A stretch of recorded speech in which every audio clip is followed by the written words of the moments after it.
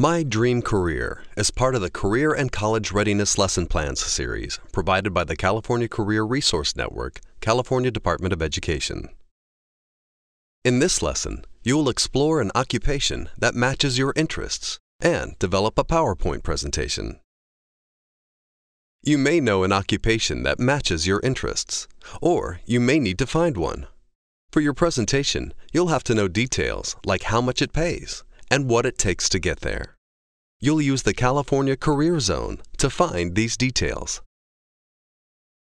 After using the Career Zone, you'll have all the information you need to create your PowerPoint presentation. Now it's your turn to explore your occupation and create your presentation.